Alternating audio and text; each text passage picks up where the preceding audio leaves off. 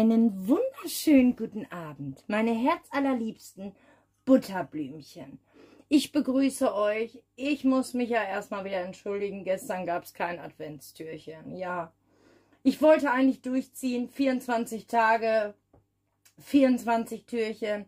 Aber ich habe es zeitlich echt nicht gepackt. Und das wäre schon wieder nach 0 Uhr irgendwas geworden.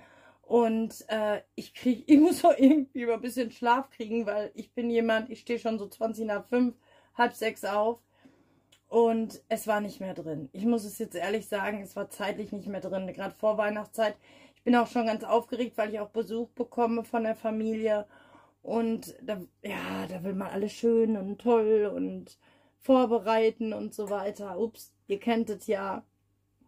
Und darum ich hoffe, ihr verzeiht mir, dass ihr gestern von mir kein Türchen. Dafür habe ich die letzte Zeit auch wirklich Gas gegeben, euch viele Infos äh, über den Community-Tab, ähm, also gepostet viel. Ich habe ganz viele Shorts gemacht, wo ich auch dranbleibe, weil es mir einfach auch Spaß macht. Ich habe viel über Facebook, Instagram gemacht. Und ja, dann ist mal ein Tag, glaube ich, zu verzeihen. Ne? Und ähm, ja, deswegen wollen wir direkt starten. Wir machen heute, habe ich mir Folgendes überlegt. Und zwar habe ich hier heute die Blume des Lebens einmal, die ja der Baustein sozusagen uns von uns Menschen, vom Universum, der Baustein des Lebens sozusagen, ja. So wie die DNA des Kosmos oder des ähm, Lebens. Sagen wir, wie es wollen. Und da wollen wir jetzt einfach, die habe ich ganz bewusst hier symbolisch hingelegt. Ich möchte nämlich einmal auf deinen Lebensweg, auf seinen Lebensweg schauen und das auch natürlich dann als gemeinsam, als Liebe zu der Liebe hin, als partnerschaftlichen Weg. Aber so ein bisschen ihn beleuchten einmal, dich beleuchten. Wir fangen heute mal mit ihm an, sonst fangen wir ja immer mit dem Fragesteller oder Fragestellerin. Ob du Mann oder eine Frau bist, der eine Frau oder Mann liebt, ganz egal. Bitte tretet euch. Ich spreche immer aus der Sicht einer Frau, die einen Mann liebt, für alle, die neu sind. Die Alten können es wahrscheinlich schon nicht mehr hören, weil ich es jedes Mal sage. Aber ne, man muss es ja, es kommen ja auch immer neue Zuschauer. So, und da schauen wir jetzt ein bisschen drauf. Es ist eine allgemeine Legung. Ihr müsst gucken, finde ich mich da wieder wo spüre ich da was, was nimmt mich mit, was holt mich ab, was, ähm, äh, wo fühle ich irgendwie für mich einen richtigen Weg oder einen richtigen Wegweiser innerlich. Es ist ja immer die Frage, womit schwingst du gleich, wo ist die Frequenz, die haben wir die ist da die gleiche der gleiche Radiosender eingestellt von der Frequenz her, ne? Und da gucken wir jetzt drüb, meine Juden. So, oh, wieder einmal an die Kamera gekommen. Wär, übrigens hier mal, ne, meine neue, ich habe viel gegeben, neu dekoriert. Ich gebe ja immer sehr, lege sehr viel Wert auf gemütliches, schönes, äh, schöne Dekoration. Und äh, ja, da gebe ich wirklich viel für, auch viel für aus. Und ich möchte jetzt gleich beginnen mit ähm, äh, dem Klang, ne, sobald ich die Klangschale betätige. Ähm, werde ich mit der Legung anfangen. Und wie gesagt, wir schauen zuerst auf dein Herzensmenschen. Mann, Frau, ich spreche aus der Sicht deiner Frau, die Mann liebt. Normal. Ne? Ähm, Habe ich sonst noch was vergessen? Und ja, ich weiß, es warten noch einige von euch auf die Energiearmbänder. Es ist, ich bin dran, Leute. Es, ihr müsst so ein bisschen Verständnis haben. Ne? Ich weiß, viele von euch haben auch echt Geduld gezeigt und ich gebe mein Bestes. Aber ähm, ich mache ja im Moment schon gar keine Werbung mehr wieder, weil ich gar keine neuen Bestellungen mehr, ne? Oder man muss eben viel Wartezeit mitbringen. Naja, aber ich habe ja auch noch ein ähm, anderen, anderes Projekt am Laufen und zwar mh, hm, äh, die Wunschfläschchen, die ich euch, die Hexenwunschfläschchen. Also es wird jetzt bald kleine Wunschfläschchen geben, aber die stelle ich euch hier nächste Woche vor, habe ich ja gesagt. Und ähm, zum Thema, wir wollten ja eine Traumreise gemeinsam machen. Ähm, die würde ich jetzt auch gerne noch äh, angehen. Äh, am, am liebsten noch dieses Jahr auch. Und für alle, die Interesse haben, ich kündige das nochmal an über einen Post auch. Ja, dann, wenn ich das ankündige, mich bitte über WhatsApp anschreiben und dann machen wir, ähm, dass ich euch sozusagen, dass ihr angemeldet seid. Es ist kostenlos, wie gesagt. Äh, außer eure Zeit kostet es euch nichts. Und wer es gerne annehmen möchte, mitmachen möchte, ein Auto, äh, eine Traumreise machen, äh, der ähm, ist herzlich eingeladen. Ne? Und ähm, ansonsten findet Samstag, bekommt, habt ihr ja abgestimmt und so wie ich das sehe, wird sich das nicht mehr ändern.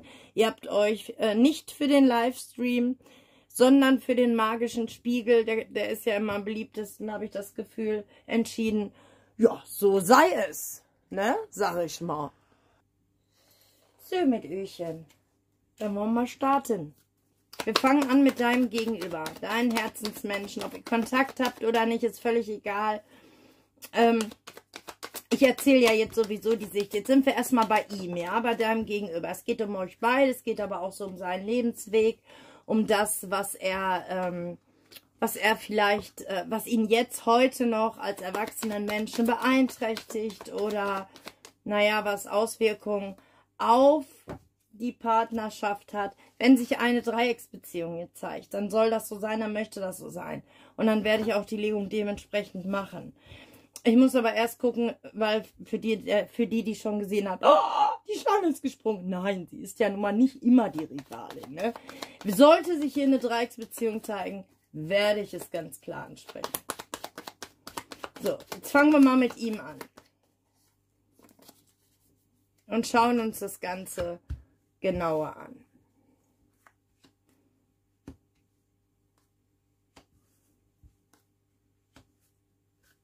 Na, habe ich einen Platz hier? Seht ihr auch? Oh, ihr seht doch schon wieder nichts. Oh, da bin ich wieder an die Kamera gekommen.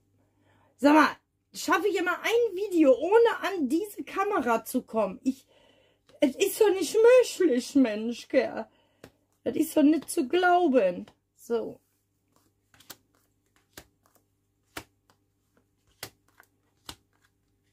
So.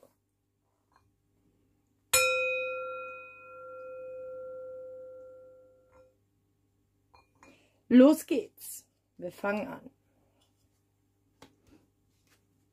Okay, hier ist jemand schnell im Leben. Äh, sie hat sehr schnell gelebt. Er ist sehr schnell vorangekommen, vielleicht viel erlebt in kurzer Zeit. Es ging sehr schnell alles. Ähm, äh, vieles äh, finanziell auch, hat es positive äh, Phasen gegeben, wo es irgendwie in irgendeiner Form schnelles Geld auch gab. Aber ähm, dann ist es auch, äh, hat sich das Ganze auch so ein bisschen gewendet. Ähm, er hat hier eine Frau in seinem Leben kennengelernt oder hat sich, wie auch immer, äh, eine Frau, ups, äh, mit einer Frau verbunden, auf irgendeiner Weise, die ähm, ihm nicht gut getan hat und ähm, das Ganze ihm vielleicht auch Geld gekostet hat oder finanzielle Schwierigkeiten in finanzielle Schwierigkeiten gebracht hat, denn er wollte alles geben, er wollte für diesen Menschen sehr viel geben und hat äh, sehr viel in seinen Augen geopfert. Und ähm, was dann dabei rauskam, ähm, das war ein großer Berg an Problemen. Und ja, ähm, diese diese ganze Geschichte, bis ihm das klar wurde, dass das Ganze nicht die schöne Welt ist, sondern eher ähm, ja, ein, ein, großes Drama, eine große Katastrophe, in die er da reingeraten ist. Denn die größte Katastrophe war an, bei der Geschichte wohl, dass diese Frau ihn sch sehr schwer in seinem Herzen äh, oder sein Herz erschwert hat. Es schwer gemacht. Man sagt doch manchmal, Mann, du, das macht mir das Herz schwer ne, wie man, das ist so dieser Ausdruck. Und ähm, es muss hier nicht unbedingt eine Dreiecksbeziehung sein, ne, denn wir gucken ja hier auf, auf die Geschichte von ihm.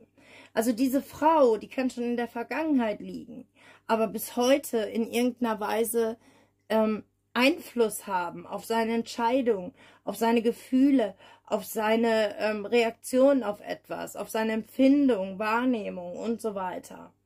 Ne? Es kam für ihn, dann hat sich noch mal was verändert im Leben, aber mit wirklich sehr viel Stress, sehr viel Drama. Also er hat sich da so langsam rausbewegt aus dieser Geschichte. Aber ähm, ich würde sagen, ähm, es hat ihm schon ähm, viel gekostet, viel abverlangt. Es könnte auch sein, dass hier familiär sich eingemischt wurde und das Ganze so ja ein größeres Ausmaß angenommen hat, ähm, äh, wenn sich da und da und da noch welche reinmischen, Freundeskreis sich vielleicht einmischt, sich trennt, wie auch immer, sich auf eine Seite stellt. Das hat auf jeden Fall eine Menge Probleme gemacht und das Ganze hat sich so äh, verändert. Das hat ihn sehr geprägt als Mensch, der er jetzt ist. Und ähm, ups, ihm fällt es, und das habe ich mir gedacht, genau das, ihm fällt es unglaublich schwer, ähm, jetzt so Vertrauen zu fassen und über die Dinge, die in ihm vorgehen, so zu sprechen und es zu kommunizieren, was Sache ist. Und auch das Kind in ihm, das Kind in ihm, das vielleicht ganz verletzt noch ist und das hat er nicht ausgeheilt oder noch nicht komplett, je nachdem, jeder steht da an einer anderen Stelle. Er hat es nicht ausgeheilt. Wir haben hier den Sarg noch liegen. Das heißt, ähm, dieses verletzte Kind, was er auch als, auch wenn er hier als Erwachsener verletzt wurde, so ist es doch noch ein kindlicher Anteil mit, der immer verletzt wird, ja. Weil das Erinnerungen meist auch aus vergangenen Ablehnungen oder äh, was weiß ich auch immer, Erlebnissen, Erfahrungen, Traumas, was auch immer sind, ne. Ähm, und das ist das, äh, wo es so hingeht, mit dir gemeinsam. Und mit dir, das, da ist das Thema. Das ist seine Geschichte so ein bisschen. Und mit dir, das ist das Thema. Du bist eigentlich in seinem Leben, um ihm wieder Sprechen beizubringen. Das hört sich jetzt blöd an, äh, überspitzt gesagt ist es aber so. Du musst ihm sozusagen, nicht musst ihm, du hast äh, die Möglichkeit, die Power, die, ähm, ja, du hast das Nötige, um ihn wieder dahin zu bringen, ähm, auch ähm, Konflikten sich zu stellen.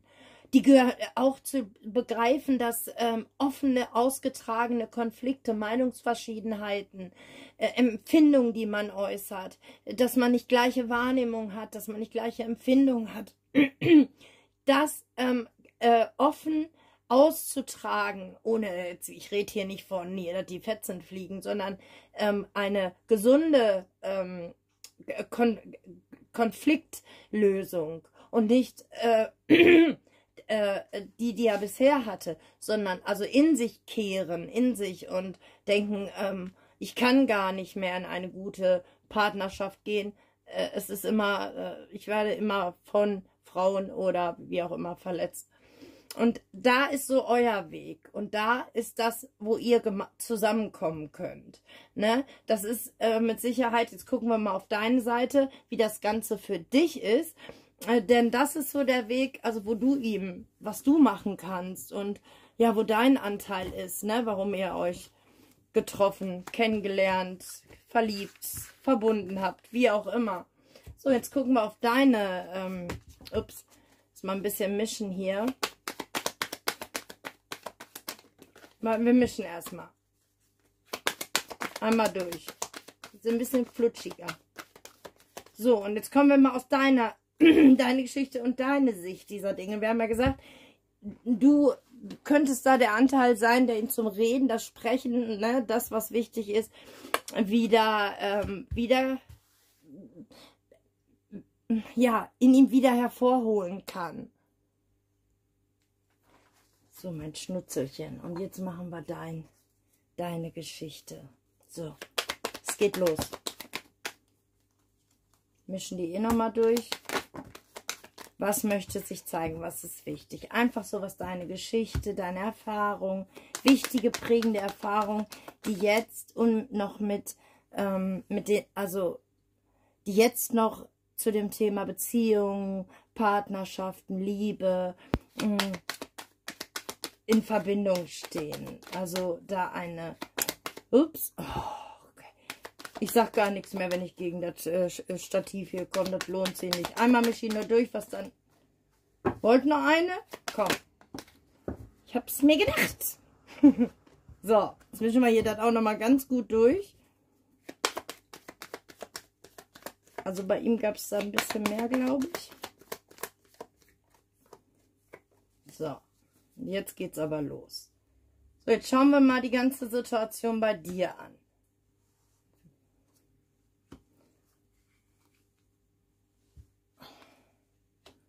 Ach. Mit der Platzmangel, meine ganze Deko, irgendwann ist nur noch Deko auf dem Tisch. So viel Platz noch zum Kartenlegen und der Rest alles Deko. Aber ich liebe es. Ich liebe das mit der Deko. Und den Lichtern und ich liebe das einfach. Und das immer wieder zu verändern und so. Das ist was, was ich mag. So, mein Haselein.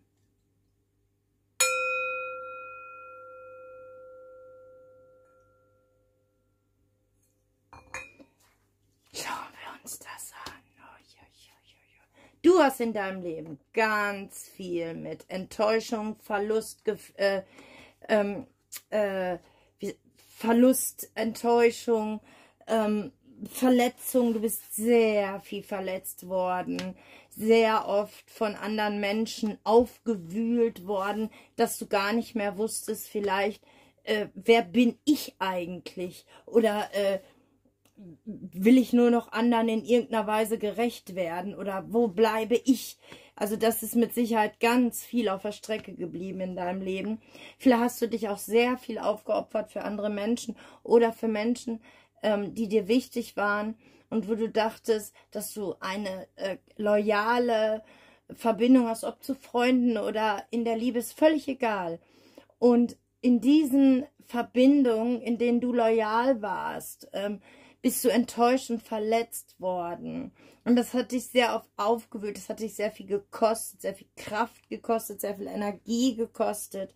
Und für dich ist es einfach so gewesen, alles, was du wolltest, alles, was du dir gewünscht hast, äh, vielleicht nicht alles, aber das Größte, was du dir gewünscht hast, das ist eigentlich eine harmonische, funktionierende Partnerschaft. Hm, mit, ähm, da kann, das heißt, das immer alles glatt und toll und man sich immer äh, versteht und, und darum geht es überhaupt nicht, sondern eine gesunde Partnerschaft, ähm, die ähm, in der man Hand in Hand es sich ergänzt in irgendeiner Weise und vor allen Dingen, indem der, der andere loyal ist, also indem man genau weiß, ey, wir sind eins, wir sind loyal miteinander. Und wenn wir uns streiten und wenn wir uns mal nicht mehr sehen können und wenn wir uns mal aus dem Weg gehen müssen und wenn wir mal andere Meinung sind oder was ähm, und wenn der andere mal Mist baut, wir sind aber wie diese Ringe hier verschmolzen und ergänzen uns, ne, sind so wie Yin-Yang sozusagen geworden. Und das ist so das eigentlich, was dein, ja, wenn, wenn man dich fragen würde, hey, was würdest du dir denn so in der Liebe wünschen, dann würdest du das sagen, hey, ich hätte gar nicht so große Ansprüche. Ich, ich will, wünsche mir einen loyalen Partner, den ich mich auch mal anlehnen kann, wo ich selbstverständlich auch mal die Starke bin, wenn er mich braucht, aber wo es so eine gesundes ähm, das muss gar nicht immer ausgeglichen sein und äh, ne, eins zu eins wiedergegeben, sondern einfach so eine ganz gesunde, natürlich fließende ähm, Partnerschaft, Verbindung. Ne? So, und ja, sehr oft ist hier, ähm, vielleicht bist du oft in, an äh, Männer oder Frauen eben geraten, die ähm, ihre Meinung dann plötzlich einen anderen Weg eingeschlagen haben. Ähm, dir vielleicht, wo du geglaubt hast, hey, das ist jetzt das, das ist jetzt das Feste und doch auf einmal ein anderer Weg eingeschlagen wurde. Und immer wieder musstest du von äh, klein, klein, neu anfangen, das Vertrauen aufzubauen. Ne? Die, hier liegt nämlich eine ganz klare Verstrickung. Ne? Also in, was das angeht, was äh, Partnerschaften, die Liebe, es ist ein Thema bei dir weil du diese ähm, ordentlich da was abgekriegt hast, ne, sage ich mal.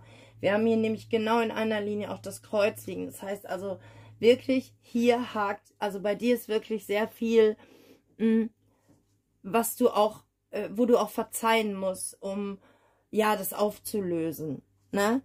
Ähm, ganz klar wieder in deine Stärke zu kommen und zu sagen, hey, ne, hier bin ich, ich gehe jetzt nach vorn, ich habe all das erlebt, ich bin ganz viel verletzt worden, enttäuscht worden, aber ich glaube trotzdem daran, dass es auch andere Menschen gibt. Das heißt nicht, dass jeder, der da auf mich jetzt zutrifft, so sein muss. Und ich bin bereit, zwar mit Vorsicht, ich habe gelernt, eine gewisse Vorsicht, Äh, und mit einer kleinen Distanz erstmal in, in eine neue Verbindung zu gehen. Aber ich bin bereit, trotzdem mit der Zeit da auch mein Herz wieder zu öffnen. Ne? Also äh, Vertrauen zu fassen, meine ich damit. Und ähm, äh, jetzt haben wir hier den Mond, also dieses, worum es geht, das Schwere, was du loslassen musst, das sind diese ähm, Gefühle, die du noch in dir hast, die dich noch so traurig machen, die äh, wahrscheinlich noch äh, dich in Situationen bringen, wo du in, in deinen stillen Kämmerlein noch die eine oder andere Träne weinst und ähm, ja, dich das einfach immer noch traurig macht und du oft vielleicht noch in diese alten Gefühle zurückverfällst, dann musst du dir selber oder dann solltest du dir selber ganz schnell klar machen, distanzier dich von diesen Gefühlen, denn sie haben nichts mehr mit dem Jetzt zu tun. Ähm, sag dir, okay, ne, ich wünsche diesem äh, Mensch, dieser, wie du auch immer dein Name ist, von äh, damals, ähm, die nehme ich jetzt im Arm, die drücke ich, die tröste ich, aber es ist vorbei und ich kann jetzt wieder ins Jetzt gehen in dem jetzigen Moment, in dem ich mich befinde. Und da bei mir bleiben und in meiner eigenen Stärke. Und hier haben wir am Ende den Anker liegen. Das heißt, ey, am Ende wird alles gut. Zwar über Umwege, verstrickt, verzwickt und was weiß ich nicht was. Also sehr kompliziert, aber am Ende geht es doch. Wir haben hier den Ring in diese Verbindung. Ne? Was du schaffen musst, ist dich zu distanzieren von Gefühlen und Emotionen, die heute nicht mehr zu dir gehören. Ne? Weißt du, weißt, hoffe ich, was ich meine. Ach nee, und ach, ist es denn nicht wahr?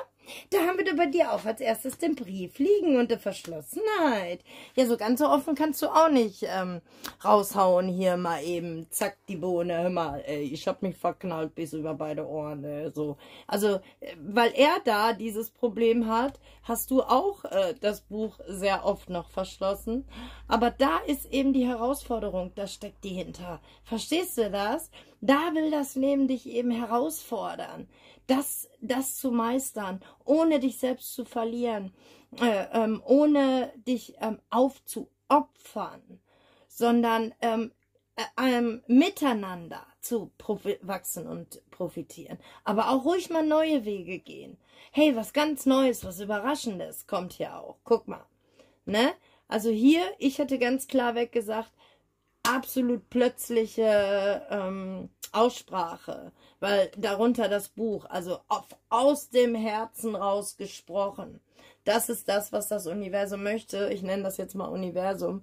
Das ist das, was der, euer Lebensfluss, eure Seele, euer ähm, Seelenweg von euch beiden möchte.